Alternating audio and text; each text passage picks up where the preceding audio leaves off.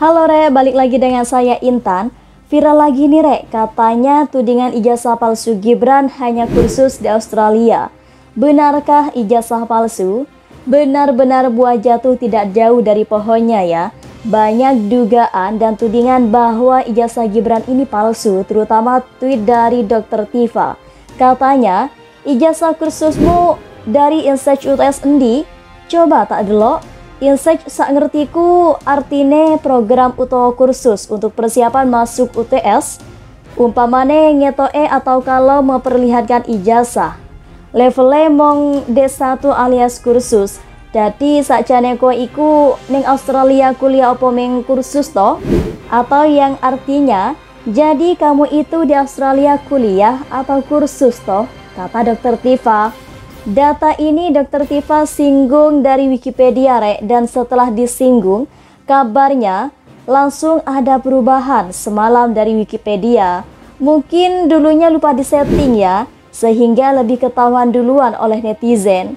Jadi benar-benar uh, bachelor itu atau cuma diploma alias kursus.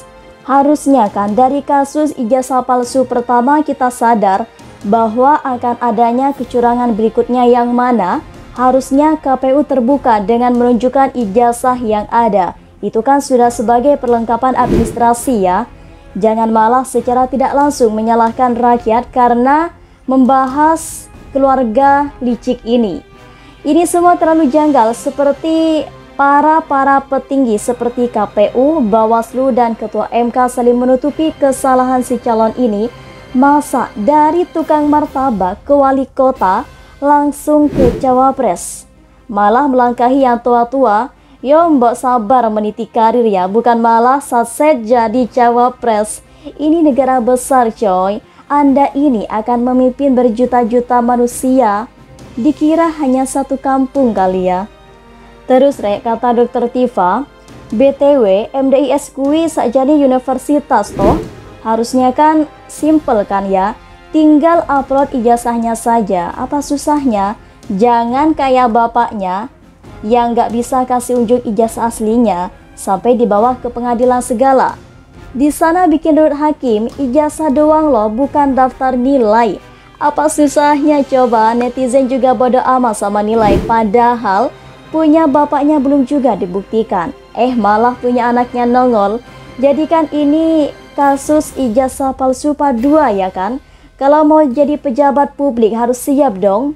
Dibuka segalanya, apalagi presiden atau wapres itu contoh buat semua anak bangsa.